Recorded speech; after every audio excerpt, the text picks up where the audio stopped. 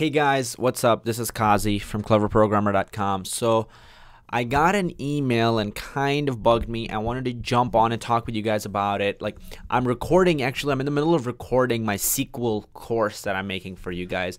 But it, I think it's important, so I wanted to just jump at it and, and talk with you guys about it right away while it was like kind of, um, while the iron is still hot, so to speak. So so this kid just emailed me, you know, like I, I, I he, he goes, I, I can't take your course, I can't afford it. I'm a broke 13 year old. Um, and so I, I, replied back to him and I said, uh, okay, that's I won't let you actually even buy my course because I, I know most of you, like most students who are young don't have the money and I don't want you to go in debt trying to pay for the course because how are you going to actually learn if you're worrying about having to pay? But what I did tell him is I hate words like I can't. Right? And that's what a lot of people always say, whether it's try- them trying to get an apartment or a car or uh, trying to hire somebody or trying to, I don't know, whatever it is that you're trying to do in life. Go out and play pool or that's that's what I've been doing recently. So I always say pool. Um, go out to a bar with friends and buy drinks.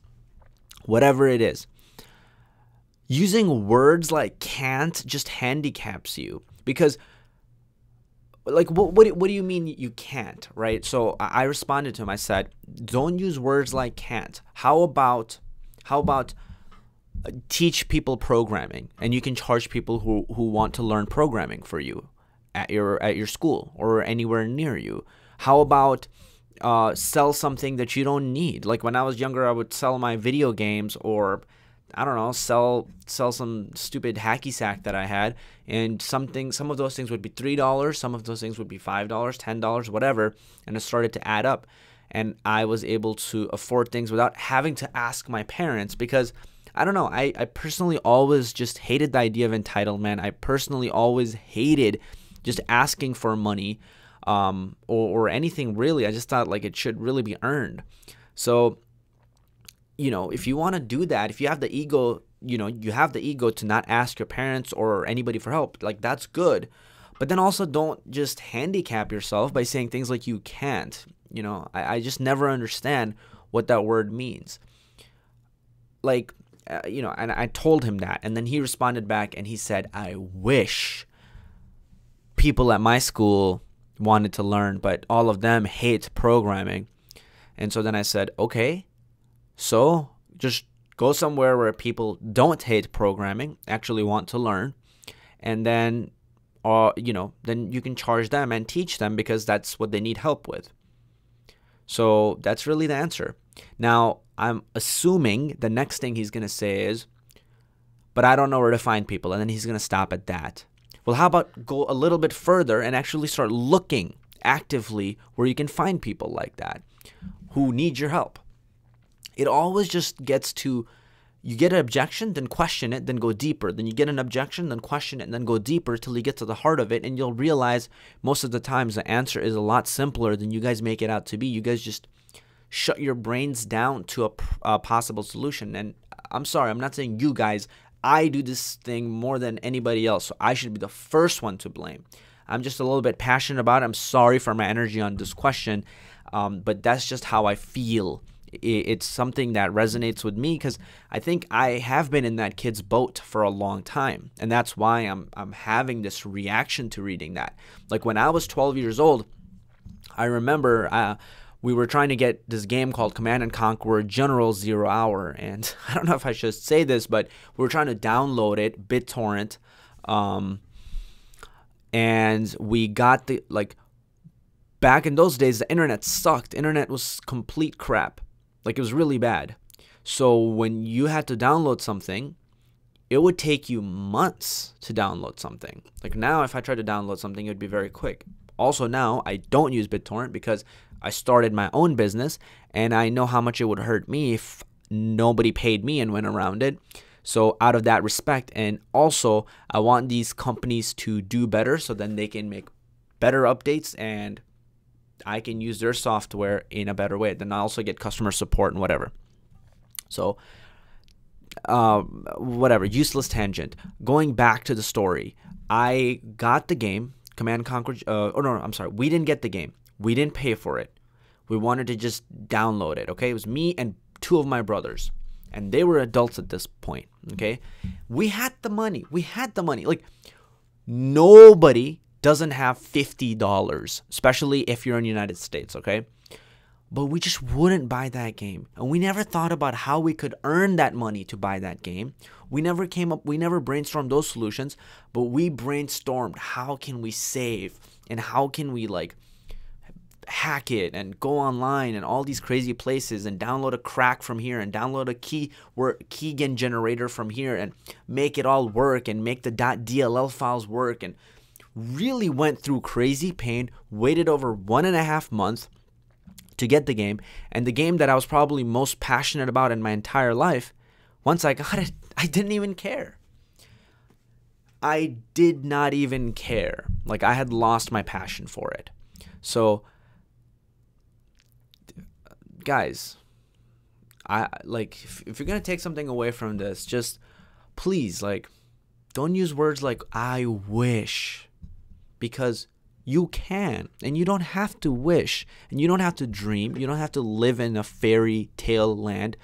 Whatever it is that you gotta get or you want, you know, you don't have to sacrifice your child's education because you think you can't afford it. If you just stop first, if you just turn that switch off for a second, the can't, the word the can't, and you just go deeper instead of going, I can't afford it, to how can I afford it, you'll be able to take your child to a better school where they can get a higher quality education. You'll be able to take yourself out to a party, spend lavishly, have a good time. Um, I don't know, whatever whatever things are important to you guys, you'll be able to do a lot of them without having to hold back in everything in life. Like I, I would go to college, I would go to UIC, and a lot of my friends, they wouldn't even like. I, I liked playing pool. I liked going bowling there. I liked eating there. I liked going to the gym there.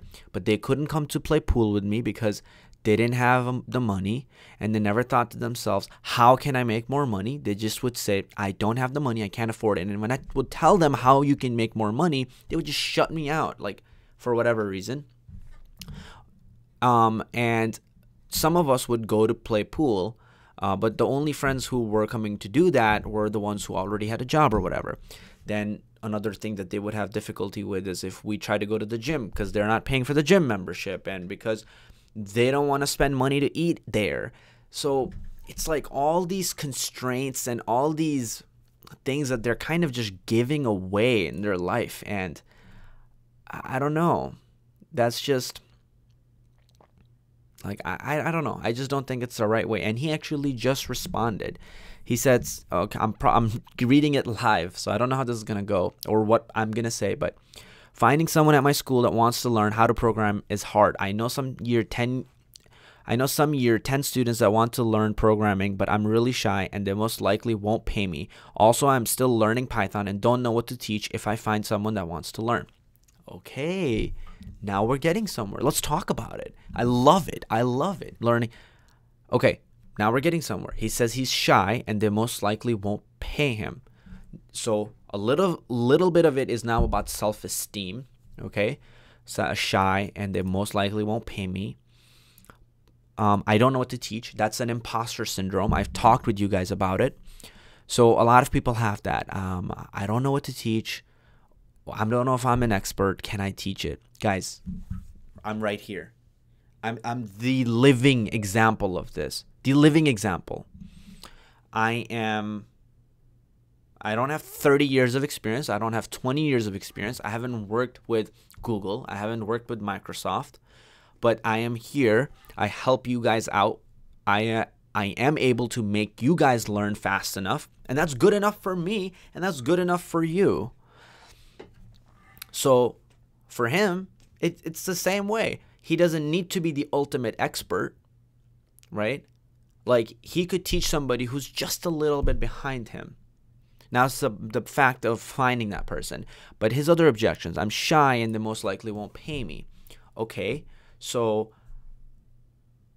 that's another one of those things that happens to people. They just think that they shouldn't be paid or they don't deserve to be paid enough or they're shy and they just have these presumptions that people won't pay them. Look, again, if somebody has a pain and you're uh, if you have pain, you're getting a headache, you might go to the CVS pharmacy and buy Advil, right? Just like that If somebody is actually having trouble and you can actually legitimately help them, right? Well, why wouldn't they pay you? Like like if they don't have money, okay, I understand. But it makes sense if, if they really want if they want to learn and you can help them, like they'll pay you, right? So that's again one of those things and shy and most likely like that's something I want to talk with you guys about more. This video is getting longer. Maybe I'll just stop it here because I'm going to go back to making the SQL course. But this part kind of irks me, shy and most likely won't pay me. Like it it really comes down to the psychological aspect of it. Even even with jobs when they give you a choice to ask for money and ask for more money, like people are actually physically they have pain.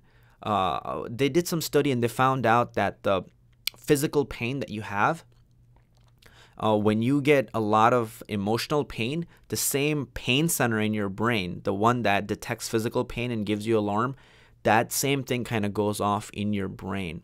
So some people, when they're asking for money or trying to charge, they go through that and they have that pain. So when they ask people, how much do you want us to pay you? Most of the times, most of the people will automatically give a much, much, much, much lower price than what's expected. So understand that, you know, like uh, if you understand what you're worth and how you can help other people and how much help they're getting from you, put yourself in their shoes and imagine if I was getting this much help, I would be willing to pay. So now that I'm helping this person, doesn't it make sense that I should be paid for what I do? I mean, people make caricatures for people charging $300 an hour, $250 an hour. Those people just are hobbyists. Like, one thing I want you guys to do is really brainstorm and think about all the things that you pay for, all the services, all the maybe magazines, subscriptions, Netflix. Like, are those things really that useful? Like, is Netflix really that useful? You still pay for it. Does it? It gives you enjoyment, so it solves a problem, right? That's why you pay for it. In this case, it solves somebody's problem of learning, and that's why they pay for it, right? So, yeah. Um, I'm probably going to continue having a discussion with my good friend here. Um, and, and yeah. Okay, guys. Thank you guys for watching. I am going to stop this and I will go back to making the SQL, co- SQL course, which you should go check out because it's going to be awesome.